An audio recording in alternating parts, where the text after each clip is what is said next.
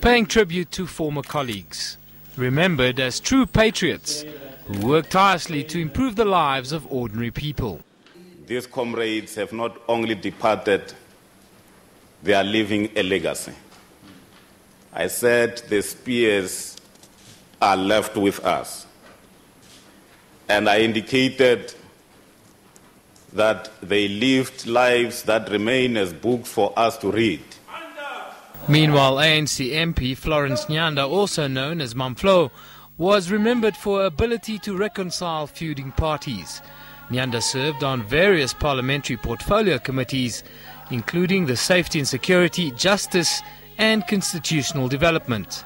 We have learned a lot from her. Up till now, she was a person, dedicated person in the ANC Women's League.